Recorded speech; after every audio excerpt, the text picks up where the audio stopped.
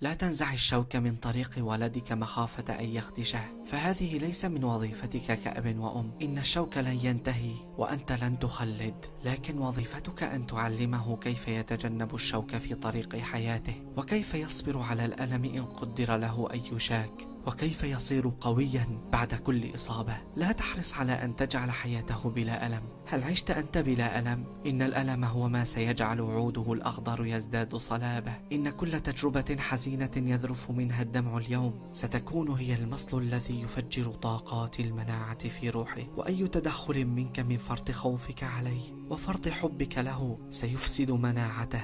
ويدمر بناء شخصيته. دعه يتعلم السير في دروب الحياة الوعرة راقبه من بعيد وكلما سقط مد إليه يدك لينهض. واتركه من جديد.